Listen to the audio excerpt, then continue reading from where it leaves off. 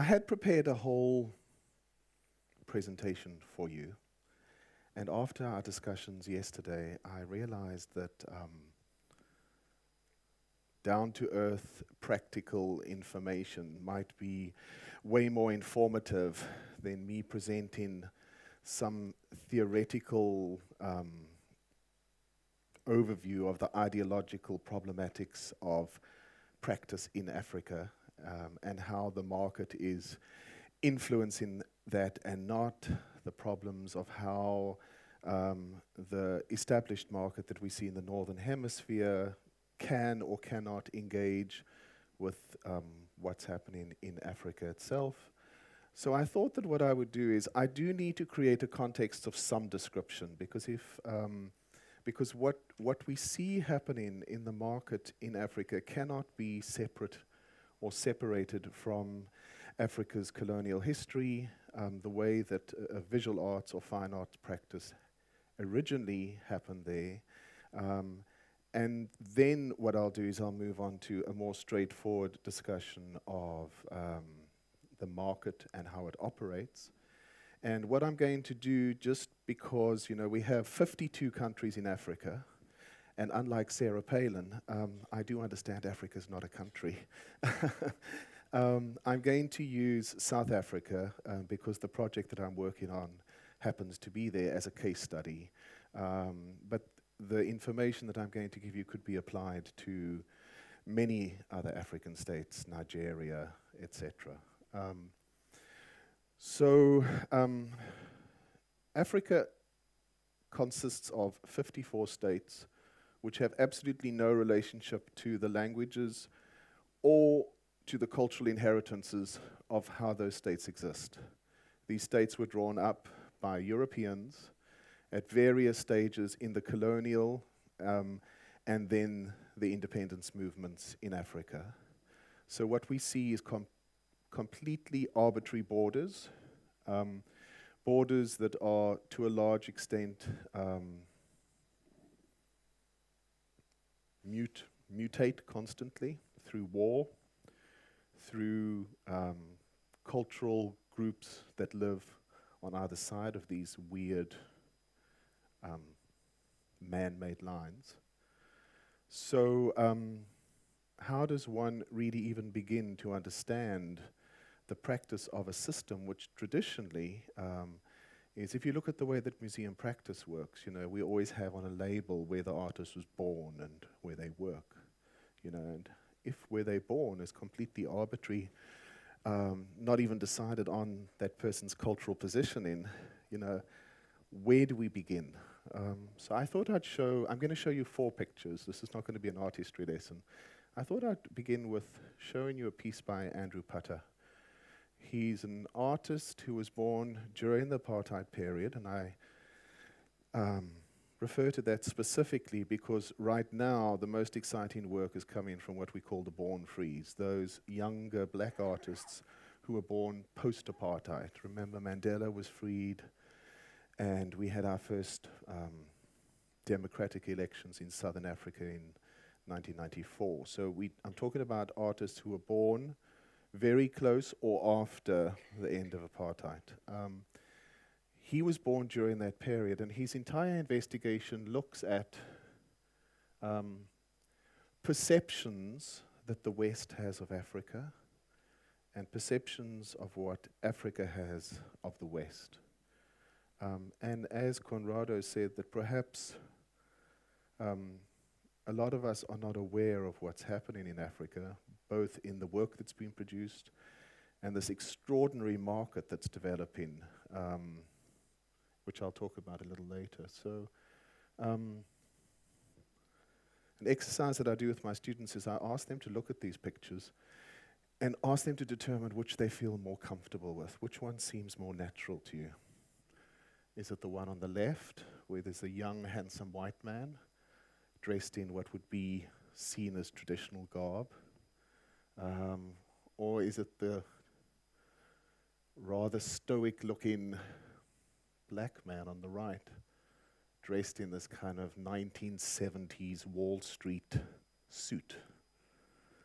Now, I don't know about you, but my response is, well, then the one on the right seems more plausible.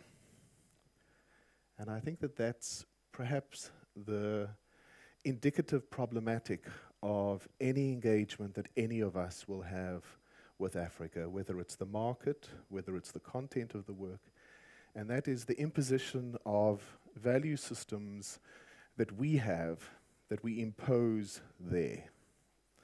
Um, and what would happen if, in fact, the opposite were true? In fact, if Africa's aesthetic or systematics were imposed on us as white Westerners. I mean, I don't really see myself as, an Af as a European, but. Um, so let's look at the uh, history of practice of museums in Africa. The first major museum in Africa was built in 1892. I'm sure the majority of you have visited it. It's the Egyptian Museum in Cairo. Um, this museum, um, to a large extent, determined an anthropological presentation of objects. In other words, objects taken out of their context, um, shown within a Western idiom. In other words, an object on a plinth with a label, protected with certain kind of systems of engagement. And to a large extent, that's exactly the practice that exists to this day. Um, so the natural um, impetus for all of us would just be to continue with that practice. And you'll see that many of both the museums and commercial galleries, um, and I do use that word, although yesterday somebody suggested it's a, a dirty division, but I think it is a division. Um, continue to use that kind of Western viewpoint of how to present work and how to value objects.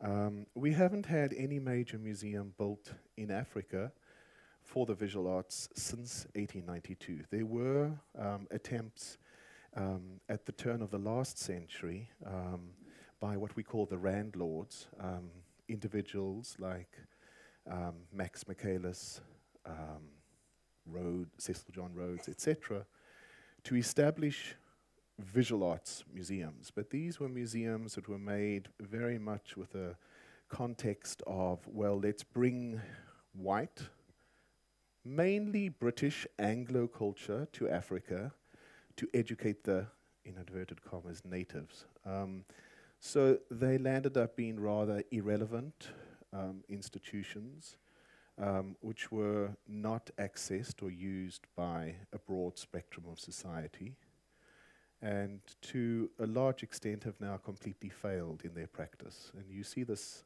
across the whole of Africa. Um, so it seems like I'm talking doom and gloom. Of course, I can go on to even more complex problematic issues.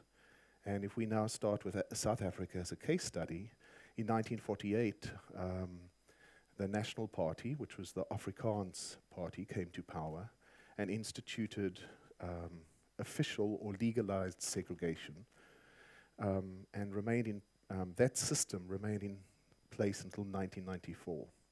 This was a system that forcibly removed 3.5 million people and forced them to literally physically leave their homes and go somewhere else. So there was a conscious separation of culture, um, a conscious segregation of how people practiced um, culture. And I'm, when I'm spe speaking about culture, I'm speaking about visual, music, but also human interaction, food, religion, marriage, everything. Um, this system was put in place um, across Africa in most of the British colonies. With the abolition of slavery, there was an attempt to break it down. Um, but unfortunately, that didn't happen in South Africa, and we landed up with, um, as you all know, one of the most corrupt um, times in modern history. Um, so we have a whole series of museums and commercial galleries and not-for-profits and arts associations and community-run organizations, which to a large extent stick with the status quo. And they produce um, what the world in that little universe expects them to produce. At the same time, we have a cultural boycott, um, which excludes any academic from that part of the world participating in um, the West and excludes any academic or artist coming to Southern Africa to practice their work. So there's a complete divide. And it reminds me a little bit about, um, I remember after the bombings of 9 11 when George Bush um, said, if you're not with us, if not for us, you're against us. So there was no possibility to have your own opinion, to have a complex process of how you decide to fit into this world. Um, so, what the natural response, um, which people thought at the time, was that um, South Africa just became completely independent. We produced ways of making our own fuel. We established our own cultural organizations, our own hospitals, our own universities, uh, everything, and we just closed ourselves off from the world. How does that impact now um, on how the world sees us or how the world sees Africa? Now, you might say, well, he keeps talking about South Africa. I'm going to ask you to bear with me for a few minutes um, because I'm going to explain a little later how South Africa and the market in South Africa is to a large extent the gateway to the, the majority of trade of fine art on the continent. Um, there's been a, a phenomena that's happening because of the infrastructure that exists, but I'll get onto that in a minute. Um, so you have a, a, a country that to a large extent has prided itself on its self sufficiency, its cultural independence, and its ability to survive. We now live in a time where, I mean, last night at dinner it was so much fun for me meeting people with different viewpoints, different practices from different geographical regions. We now have a time where art functions I hate the word, but much more globally. And yet you have a, a territory which is not, which does not have the skills or the experience of practicing in that, in that way. What does that mean? Does that mean that um, the making of art and the trading of art um, is something that enhances the practice there, or is it something that that is discredited? My opinion is, in fact, that this separation has done extraordinary um, things. It's created a content for the work um, that's been produced in Africa and specifically Southern Africa, which has a rigorousness which I find in very few places in the world. Um, when I did the Leipzig show many years ago, um, after the um, reunification of Germany, um, it was one of the few times when I felt that same phenomena of this unbelievable commitment to this craft, regardless of whether there was a market or prestige or value or even a livelihood um, possible in this practice.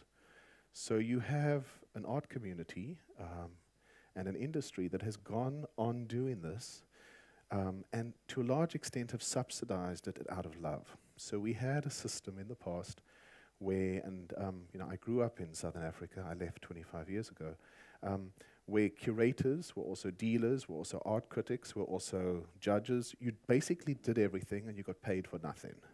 The way artists survived was that you would all buy from each other's shows you'd all do like agreements to help each other produce the work. So um, again, a kind of new kind of self-sufficiency.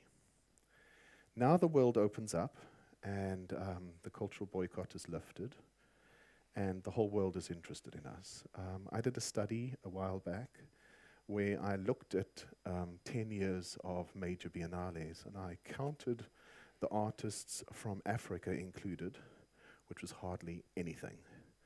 Then I counted the number of South African artists included, and in some of, of the major biennales, over 10% of the participants were from South Africa. So there was this real kind of focus academically and curatorially on the practice that was coming out of South Africa.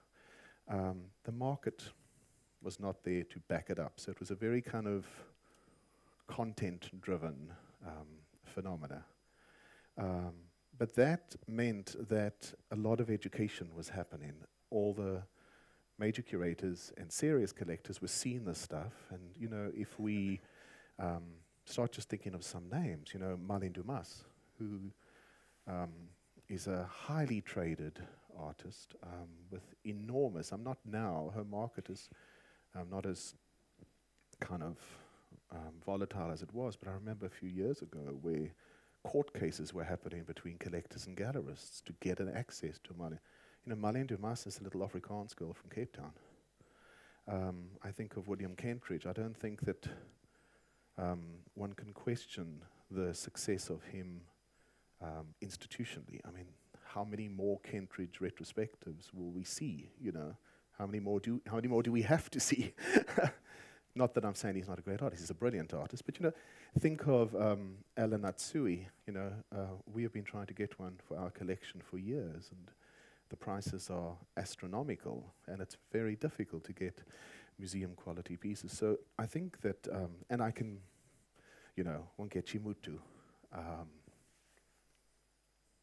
uh, Kader Attia. I mean, there are some major artists out there that I think we've almost forgotten, or even from the continent in some way, and we just see them as. Um, so, what happens next? Um, the institutional system in South Africa is was, and to a large extent still is, based on European model. So that means the state supports art. Um, at the end of apartheid, the government um, removes all the um,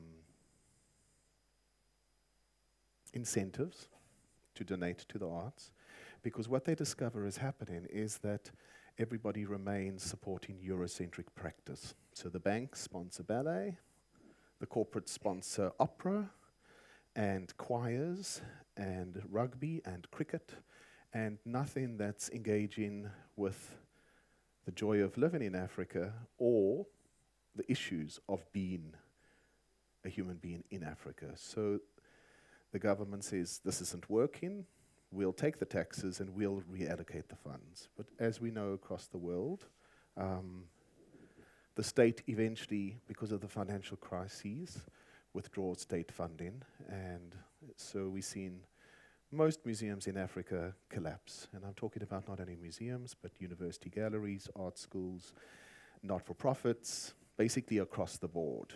Um, they still are open, but there's no one there. There's no programming, there's no impact.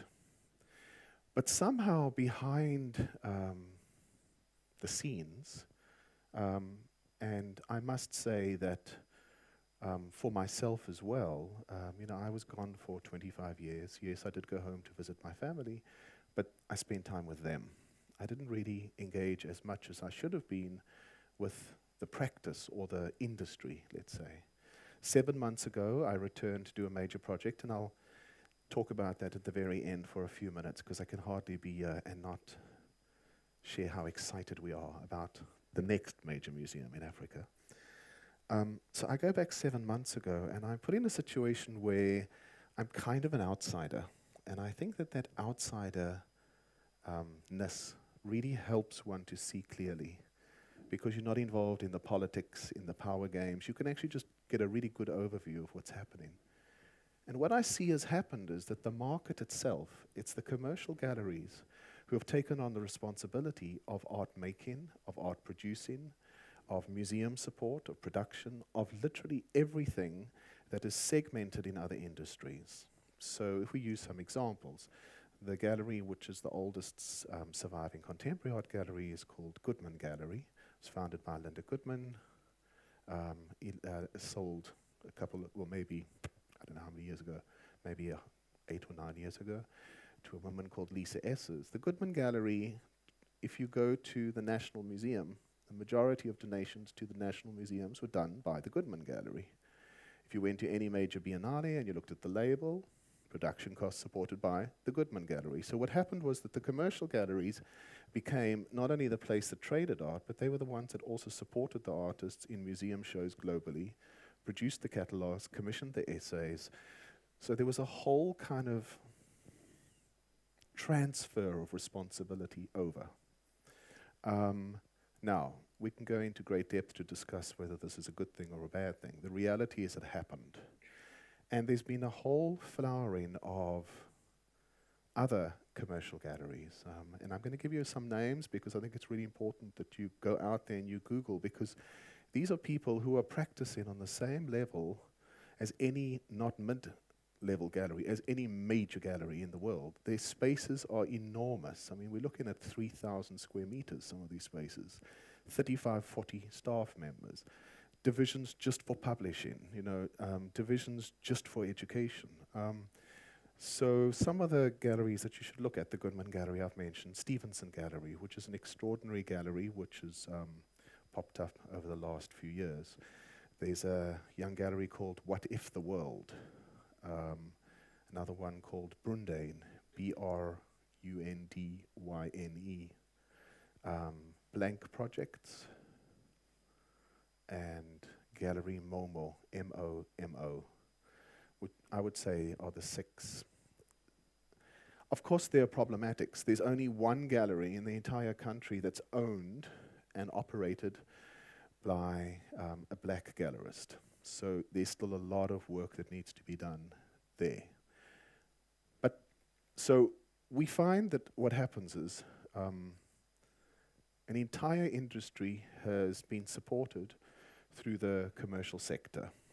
And so well that I come to Barcelona and in one of your local institutions, there's a photography show of Pieter Hugo arranged by Stevenson Gallery. So museums, because of the inability to talk with their colleagues in Southern Africa, have now actually just taken to talking to commercial galleries. So it changes, even the power relationships between major international, international institutions have changed. You know, traditionally, museums um, don't like to be, or they don't like to admit that they're influenced by the commercial sector, although of course they are. Um, without the commercial galleries, I think a lot of us curators wouldn't know what the hell's going on. But anyway, um, so you see extraordinary relationships being developed by major collectors and curators at the world's top museums and engaging and following the advice and guidance of commercial gallerists, which I think is pretty extraordinary. Um, then what happens, which is even more interesting, is that um, through the power financially of how these commercial galleries have operated, they start understanding that they will take responsibility for the entire continent. So what you see in these galleries, um, Pan-African, is that they become galleries that don't represent artists from the region, but from the entire continent. Um, so their programs become very diverse, um, which means that more power is held in the hands of these commercial galleries because now they're the go-to point um, for everything about contemporary practice on the continent. Now, again, I think a lot of people would get very nervous with this situation, say, oh my God, is this a good thing that commercial galleries have so much influence and so much power? Personally, I think it is, because in a system that was a public institution system that was corrupt for decades, and then following that has not really managed to find a voice for itself. The market has taken a much more democratic, open kind of attitude. Um, so where's the money coming from? Um, as you know, there's enormous mineral wealth in South Africa, and I'm talking about or Southern Africa, Mozambique, Angola, Zimbabwe, and South Africa. So individuals who own mines with enormous funds are putting collections together. I see, um, you know, when um, Art Basel, Miami Beach first started, and there was a kind of frenzy of everyone was collecting and everyone was buying and everyone was opening their own museum. The same thing is happening in Cape Town. You know, um, there are a couple of museums that have opened up, which to a large extent are museums and they aren't museums. They're more like private spaces open to the public um, with staff, with publishing programs, where they use their permanent collections um, as their kind of resource to show. they're so respected now that what's happening is the public museums are loaning to private collectors. Not so again, it's there's so many models which we're not used to. Traditionally, galleries and artists loan to museums, and now it's happening the other way around. Um, what's also happening is that we see that commercial galleries are curating exhibitions in the museums. So Goodman Gallery curates shows in the Johannesburg Gallery, which is a national institution or a, a municipal space. So there's this trust in the experience and the ability of the commercial sector where the public institutions actually relinquish their responsibility to the commercial sector. What's fascinating for me is that it hasn't been abused, that there's this real commitment and love for the subject that um, the commercial sector is not taking this merely to promote their own agendas or line their own pockets. Yes, a lot of people are getting extremely wealthy through this process. Um, some of the artists and some of the gallerists. Um, but at the same time, there's still this commitment back to the development of art itself.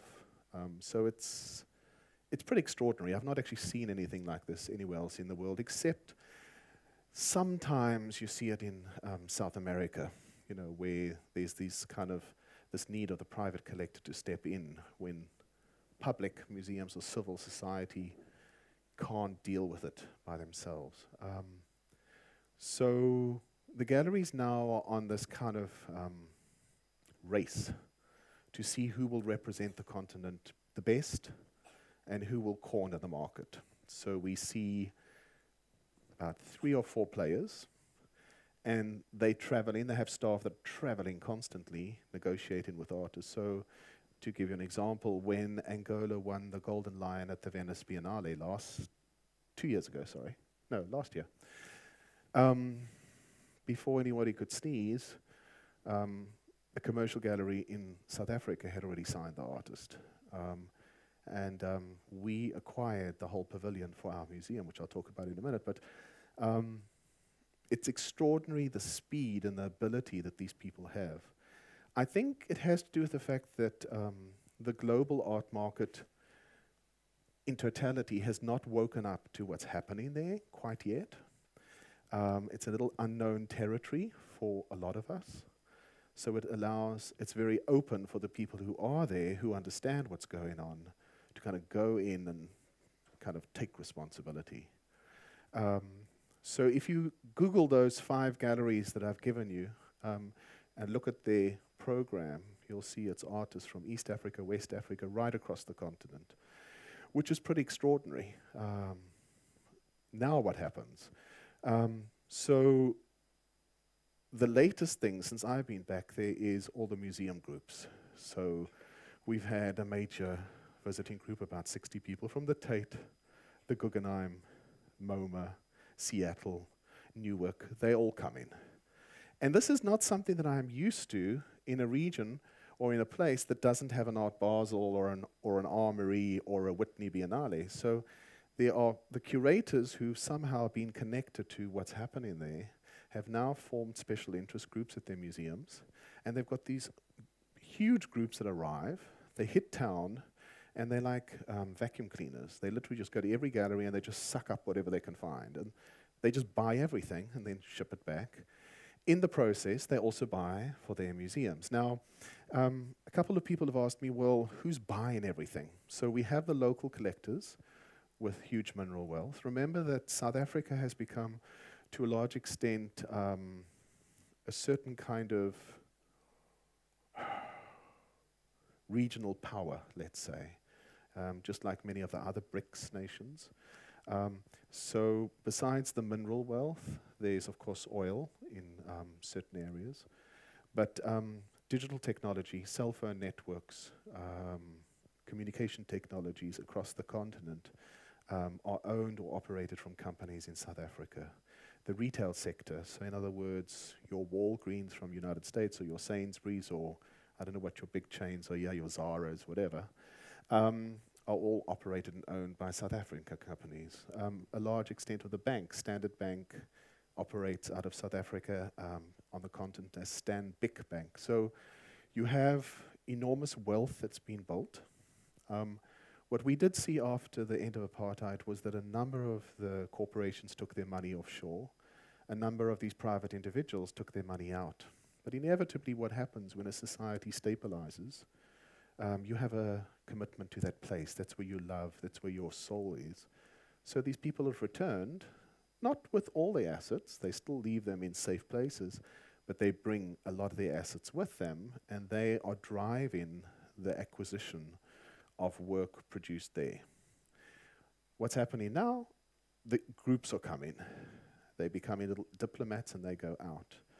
There's also other phenomena that are driving this. Um, most public museums around the world have neglected contemporary African practice. So, um, like we have with the anthropological um, thing that I spoke about earlier, we see that public museums collected masks, drums, objects, whatever. So major institutions like the Smithsonian, and this, for every one Smithsonian, there's another 10,000 museums um, around the world who have some kind of focus or interest in Africa because their collections, you think of the de for instance, has a very strong African collection. And these are collections that say, well, hmm, I wonder what's happening now. Let's check it out. So there's this whole industry that's developed about people buying up work. So we see that the institutions globally are basically constantly engaging with acquiring what's happening. Um, it's unfortunate, but because of a very developed gallery system, South African artists are getting the majority of the attention, or artists represented by South African galleries, because they have the marketing and the information platforms in place to be able to promote certain artists. So it's not unpredictable to see Pieter Hugo here because he has a gallerist that's exceptionally good at promoting the stable. You know, they make a catalogue for every single exhibition. I'm not sure if there's many commercial galleries in the world that would catalogue every single show. So they've, because they so, and again, this disadvantage of being separated for so long, so far away, the galleries have found ways to bridge that gap through communication.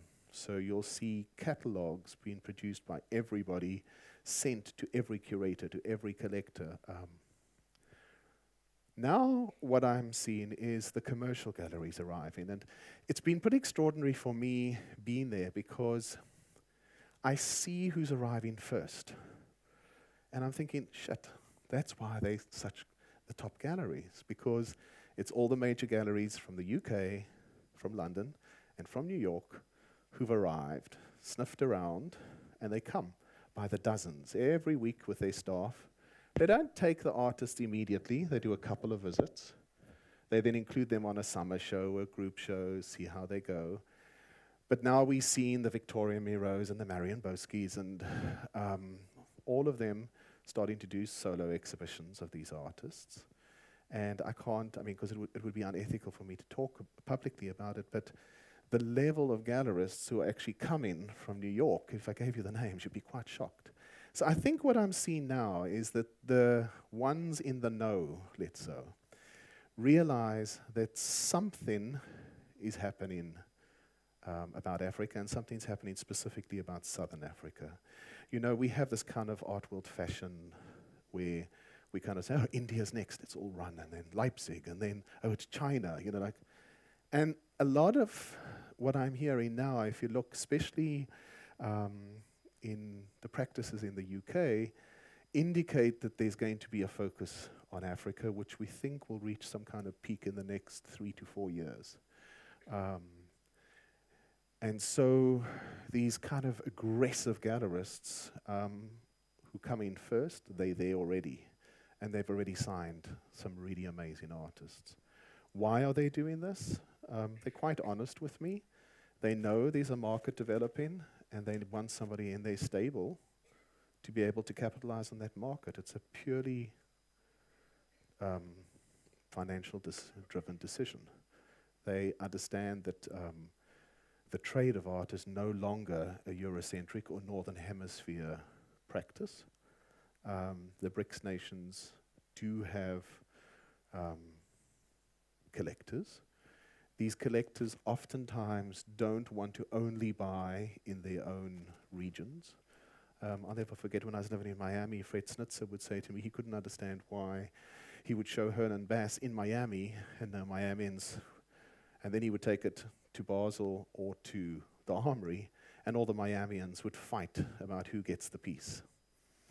I didn't understand this in the beginning, um, but just recently, a couple of years ago, I was at Art Basel, and Stevenson showed Zanele Muholi um, in a solo presentation, and I bought the work. And I had seen the work 50 times before in Cape Town, but seeing the work outside of your own country in a context with, with, with many other artists helps you to understand it more clearly.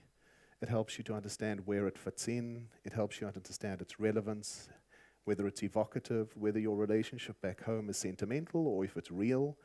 So sometimes to take it out really helps. So I think a number of the commercial gallerists are now grabbing these artists because they understand that there's a, huge collector base that none of us are aware of that need to be serviced.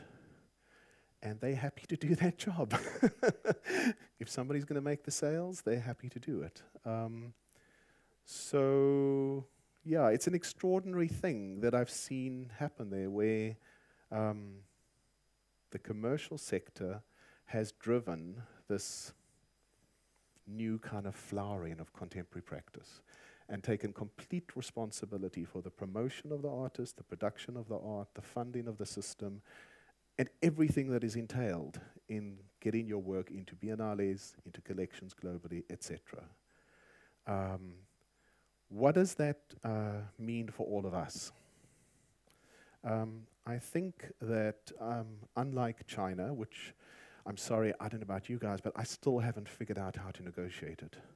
You know, and I've worked with many big collectors in many regions, but it's just it's very tough. You know, I remember when we bought um, Zhang Huan, and the editions ran out, and then there were other editions appearing by artists that had collaborated with him and felt, well, we're also part of that, so we can also make our own pictures. And then, but that's, you know, it's like, but what you see in um, the system in Southern Africa is a very ethical, controlled system. With, so it's a system that's very familiar. If you went there, you would be very comfortable in the process. You go to the openings, you meet the collectors, you have the fancy dinner, you all schmooze, you make the sale. It, it's quite simple.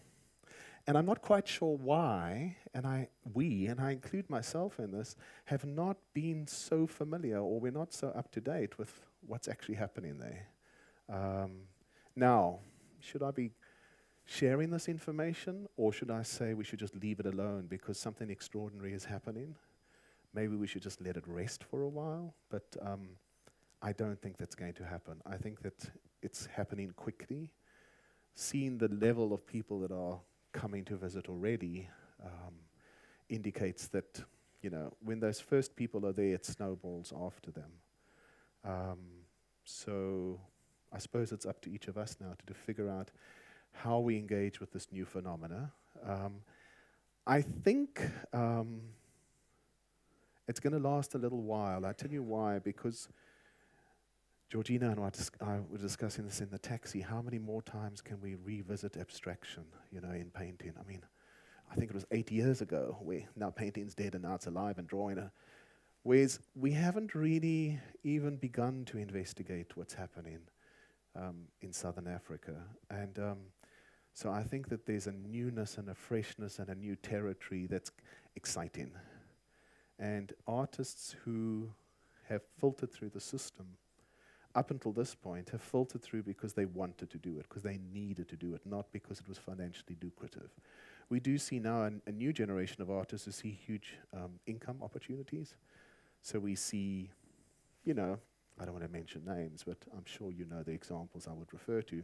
Um, we see them coming up, but what we see before that is a real, and I hate this word, but a real authentic, authentic practice. Um, maybe I should quickly talk about, let me just check for the time so we can see how we're doing. Ooh, okay, three minutes and I have to stop. Um, so, what makes cultural capital? Um, You know, I was thinking last night about what makes Barcelona important. And I have to see this from my point of view. Uh, what makes Barcelona important? Well, Carlos and Emilio do loop, and they're extraordinary kind to me, and they always make me feel like a million dollars, and that's why I come. Honestly, I mean, and that friendliness and that kindness. But obviously, um, if relationships are not in place, because none of us are connected with the African continent, no matter how wonderful the people are, it's not going to make us go. So, what makes a cultural capital? I think you need good university art schools. There's 16 university art schools in South Africa alone, and I'm talking about where, um, schools where you can go up to a master's or a PhD level. There's a whole network of national institutions. They don't work, but they're there and they have permanent collections with staff with extraordinary skills. Um, you need art fairs. There's two fairs. They're young, small, boutique fairs, the Joburg Art Fair, the Cape Town Art Fair. You need a good secondary market. Um, Strauss & Co., which have now cornered the market for secondary sales in Africa. You know, up until recently, Bonhams, I think, was the kind of their, that was their territory. Strauss & Co. have now, in both um, lot numbers and total sales, have taken over that. They will announce, I think tomorrow, in fact, the first contemporary art auction in Africa. Um, you need collectors, which we've already done. You need gallerists. You need journalists. I remember reading last year that the LA Times had um, taken away the only full time job for an art critic in Los Angeles. South Africa has, I would say, maybe 16 full time art critics who are employed by the. So there is an extraordinary, but for some reason, there still hasn't been an iconic something to grab the imagination of the world and say, shit, maybe that happens. Um, so I'll have to show you a picture now.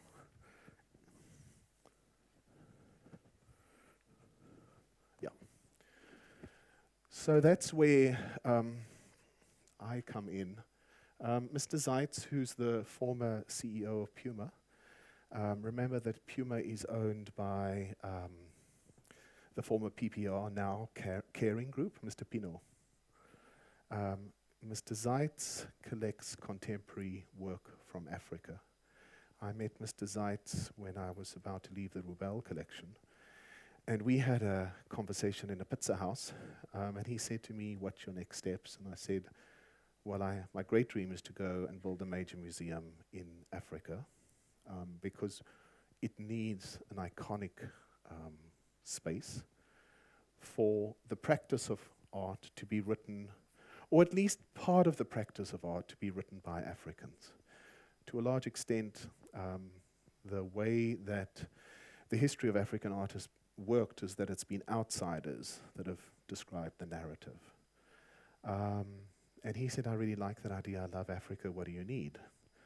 So um, I said to him, Well, no budget because I want you to give me the funds with no end. So there can't be a limited budget to buy the collection for the museum and then to build the museum. So he said, Fine, let's do it. So, over the last five and a half years, I've been traveling across the entire continent. We shortlisted four cities Bamako, Nairobi, Johannesburg, and Cape Town. We had to do some really hard thinking and decision making. Um, and although it would have been such an amazing statement to have built this museum in Soweto in Johannesburg, we realized it would have fulfilled a, a, very important role in the local community, but not engaged with an international community because where it was, transport routes, etc. Nairobi, the pollution levels were just way too high. We just could not find a way to protect the objects. Um, you know, Bamako, a lot of social unrest, so it landed up being Cape Town. Um, it's a private-public partnership. Uh, it's 1.2 billion rand, so that's 120 million dollars, and we put those funds together in about six weeks. Now, that gives you an idea of the ambition of this community. Um, now, you might say, well, $120 million, well, that's just a mid sized museum in the US. But $120 million in South Africa is like a fortune beyond anybody's dreams for culture. You know, it's just like you're talking about the entire cultural budget of the whole country for decades. Um, so that there's what we see is a country right now which is becoming ambitious. Um, we've seen a country where people are, they say, we want to matter. And we want to matter in various ways academically, commercially, industrially, but also culturally. So they're counting on this institution to position them. Um, I think it's very dangerous because obviously a lot of the corporates are hearing the Bilbao phenomena, which we all know is not true. You know, I mean, that was a whole part of an entire regional replanning and a city replanning, and the Guggenheim was just a very small, you know, and I think the, the Guggenheim Foundation has sold the kind of Guggenheim solution very effectively. Um, and oftentimes, as we know, it just doesn't work. You know, I mean, museums open, get into problems, and close. But um, anyway, that's beside the point. I need to be positive. Um, so um, it was the tallest building in Africa until 1972. Um, it's situated at the VA waterfront, which has 24 million visitors annually. It's the most visited site, tourist site in Africa. That was one of the things that really pushed us over the edge in choosing the site because we realized it could be in a position where it can communicate with the world. Um, and to a certain extent, it's changed, the institution itself has changed the entire practice and market of contemporary art in the region because we are buying between 80 and 150 pieces a month for the permanent collection to build the collection. Uh, and um, people are committing their private collections. They're donating huge amounts of money for endowments, for curators, programs, etc. So there's a real kind of um, confidence in this what we see is happening is all the practices around it all of a sudden are doing better as well because the confidence that this is driving is driving the market as well. Um, we've commissioned Thomas Heatherwick, who's the British architect, to do the piece for us. Um, we were worried that we would be criticized by not choosing a local architect, but we want the piece to be a bridge and to talk to all our friends all over the world. So he was the best choice, and he's come up with an extraordinary solution to cut a piece of grain, the shape of a grain, in the inside of the tubes. Um, to give an idea of scale, um, this is twice the height of the Louvre Pyramid, the atrium. So, like the turbine hall at the Tate, it'll give us the possibility of commissioning large scale monumental interventions by artists. Um, and this is what the museum will look like on the interior. There's eight zero, 80 galleries.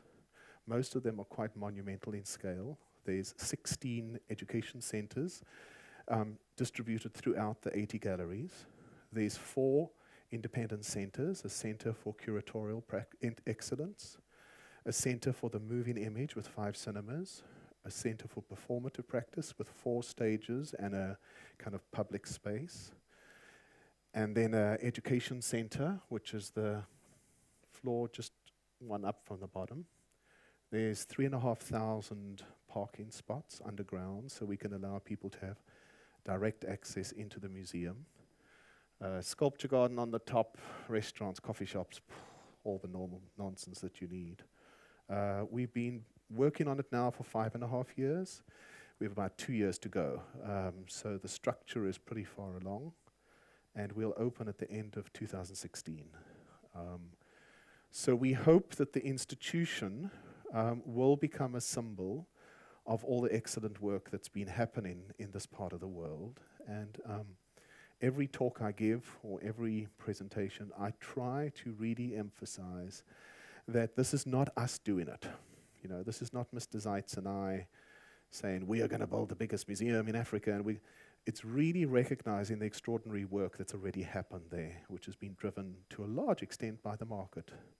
Um, and now we can come and we can kind of contribute and create a public space for this dialogue to take that extraordinary stuff that we see and hopefully share it with the world and hopefully create a reason for the world to come as well to see this. And then um, the building, you know, um, we believe, will be the most iconic architectural structure in South Africa for about the last hundred years. The last iconic buildings we had were built by the British architect Sir Herbert Baker, which is a very long time ago.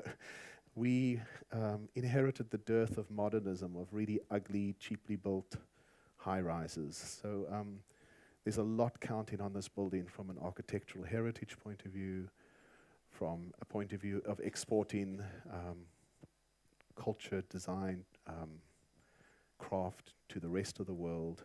But then I think also affirming um, the capabilities of creativity in Africa and also a successful, confident, professional market. Yeah, so I'm going to end there. I don't know if anyone has any comments or questions, but um, this is my baby for the next couple of years.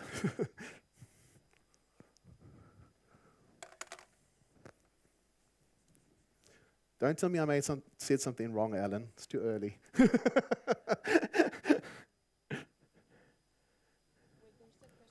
oh, this one, yeah. Okay, go ahead. Hi. Um, I was just wanting to know about the role of the artist prior to the commercial gallery system developing.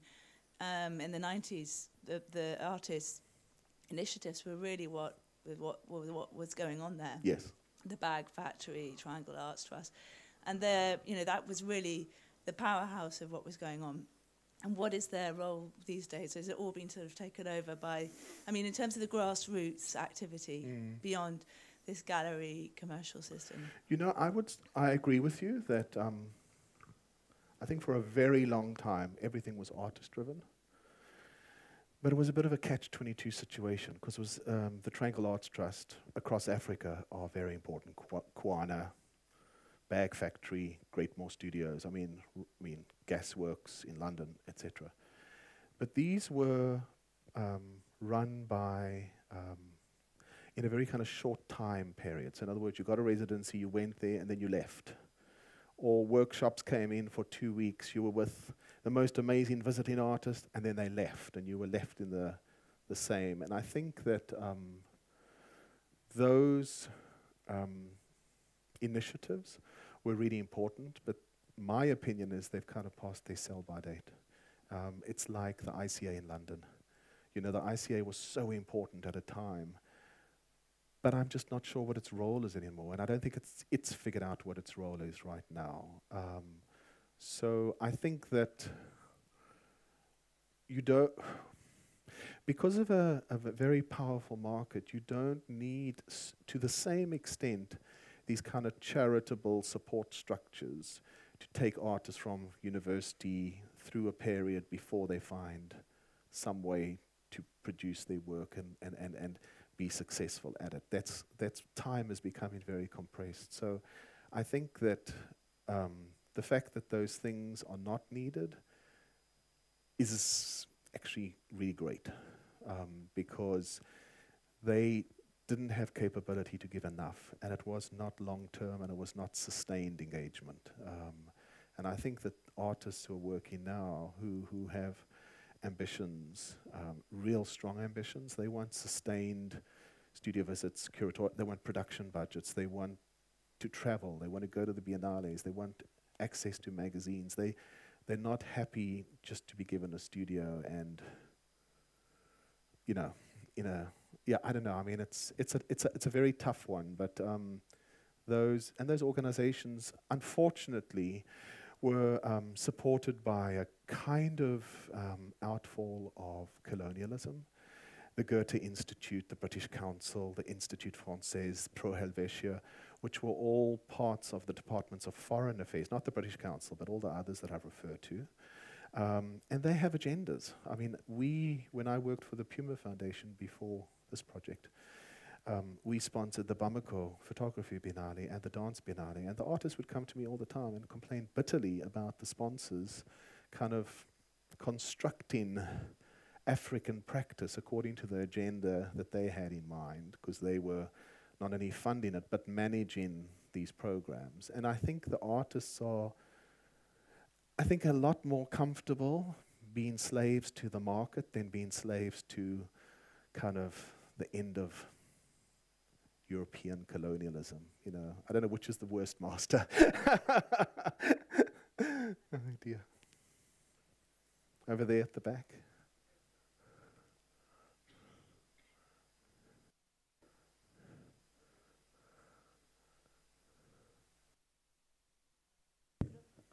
It's working. Mm-hmm. Uh, I find what you, you're doing is very interesting because you are building an ecosystem from nothing, and you're building an ecosystem, an art ecosystem in the 21st century. Mm-hmm. And so uh, I think that it's, and especially also in a very important country in Africa. What is, what is interesting for me, what I would like to know, when you build an ecosystem like this in a country like South Africa, who are the main leaders, the engine of the ecosystem? Is it the artist? Is it one collector who decides to become a, you know, a leader? Is it the government? What, what makes an ecosystem in the beginning mm. works, mm. especially in a country like South Africa? You know, I can't answer universally your question. I can answer from my experience. Um, I was at, in Miami bef- just before Art Basel. One of the reasons why um, I was asked to come out was because there was this idea that it potentially could happen. And um, now, when you talk to people from Miami, everybody will take claim for they were the ones that met Art Basel. They were the ones that brought it. You know, it's amazing how many people take credit when something's successful. Um, I remember when it happened, it was a couple of collectors and Sam and a couple of people from Basel. And it was, it was really, I mean, I remember the first Art Basel was cancelled, the second Art Basel, um, some galleries didn't sell very well, especially the German galleries, because they brought very ambitious installations, conceptual, tough stuff, you know, made out of styrofoam and pieces of sticks. And people thought, I'm not going to buy that. And I remember Rosa de la Cruz um, met with Sam, and I watched them. I actually said, Rosa, what are you doing? Um, and her and her um, children each made a commitment of a million dollars. And they walked around with Sam, and, sa- and, sa- and, she said, Okay, take us to the galleries that have not sold. Um, because they knew if that fair didn't work, it just wouldn't be there. And the impact for the city um, would be enormous. So they walked around, and Sam said, Well, this gallery hasn't covered their booth. So they said, Well, how much? And she bought a piece for that amount. And then they moved on. So there was a real, I remember so many of the collectors extended themselves both in purchases but also in taking on spaces and doing exhibitions and hiring staff and making parties. And we just spent millions and millions of dollars to make sure that this worked. Um, now, of course, the community benefit from it greatly. Uh, a place that, to a large extent, was somebody used this word yesterday, a cultural desert, has now become a place that we all at least think about when we think about visual practice. Um, so, in Africa, um, there's always been it's always been a contested territory, unfortunately, contested by European powers. Um, who, as we know, got together on a regular basis and sat down and divided the map up and said, okay, you get that. We, I mean, South Africa, I don't know if you know, we were Dutch, then we were English, then we were Dutch, then we were even French for a little while. And then the English invaded and had a war with the French because they thought it's too important a landmass um, to let the French have it. So, I mean, the whole country, I mean, the reason that I am there, my family, I think, arrived in the 1700s. Um, is the same story. We were just constantly being kind of, you know. Um, subsequent to that, um, there's been of late um, kind of new kind of control, let's say, and that had to do with an academic. There were certain curators who took intellectual ownership of the kind of conversation. Um, I don't want to name names, but I'm sure you all know who they are who felt that they were the authorities on art in Africa. And it was a very complex, identity driven, um, intellectualized, um, post colonial, theoretical way of approaching this, which to a large extent excluded a lot of people in that discourse and reserved it kind of in an academic realm. Um, that's been usurped by the commercial uh, sector. Um, who's driving it right now? Um, I don't think anybody, to be honest. Um, I think that it's the same thing that happened in Miami. Collectors that would not talk to each other got together to plan to figure out how to make Art Basel successful.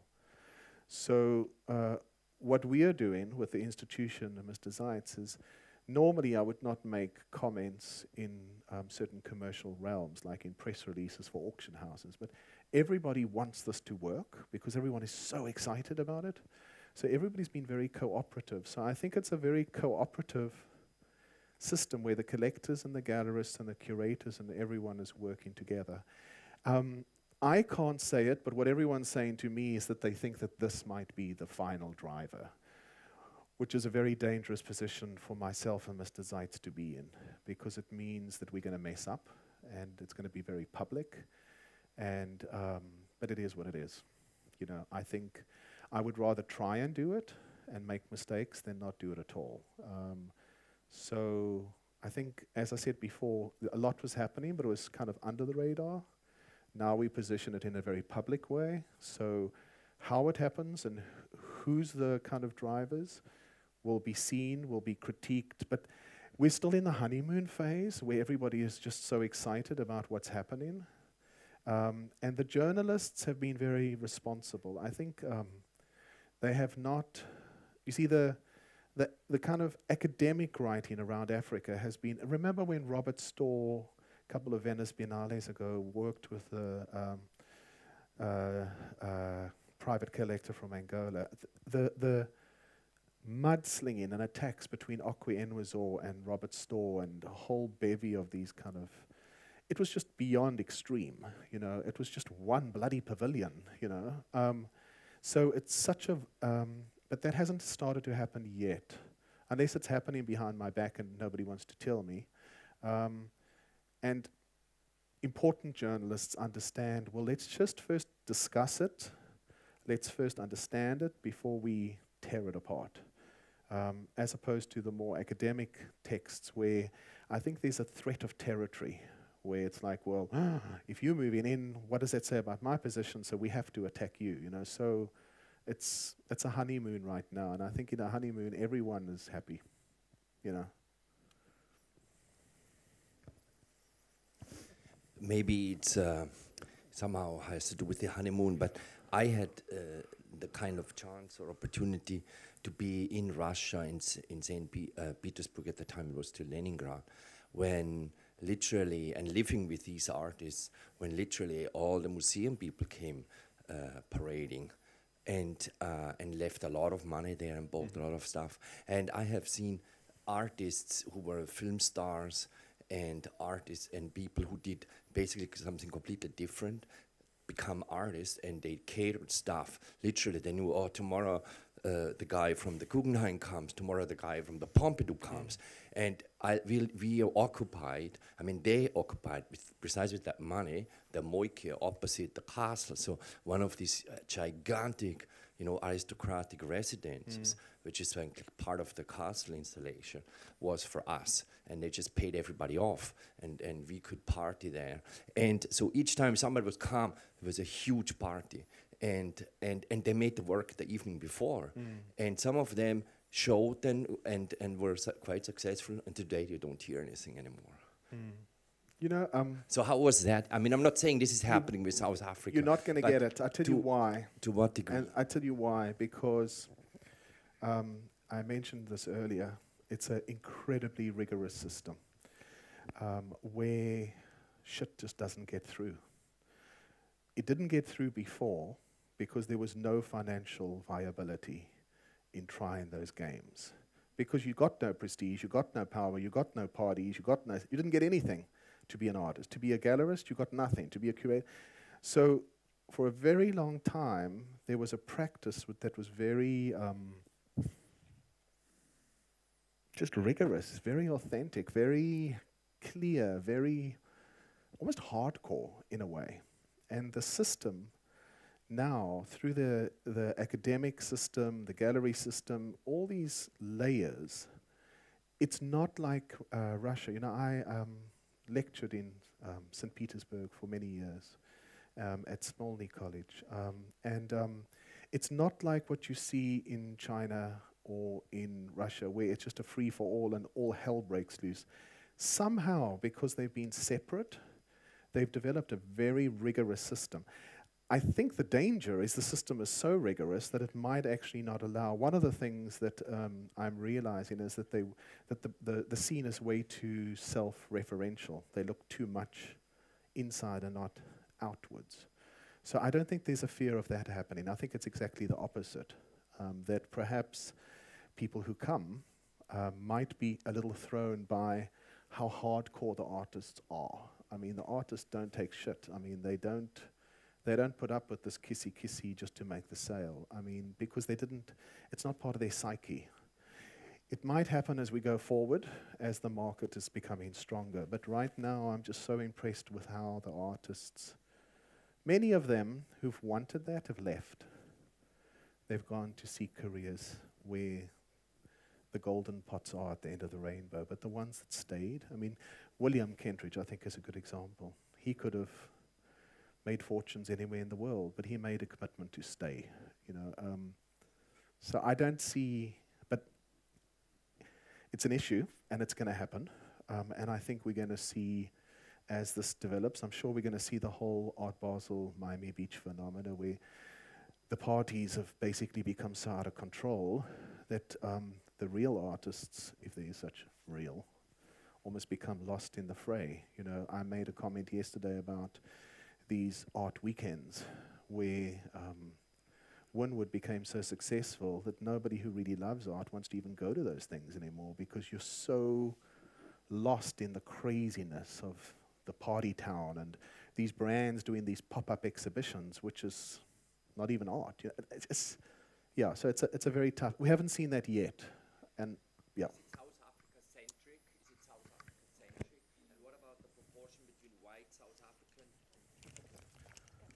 Sorry, and what about the let's move on for proportion? one. Let's move on for one more question. We have time. Can I come back to you? Okay, there's a question there at the back, and then let's do Alan. Oh, there. Sorry. Okay.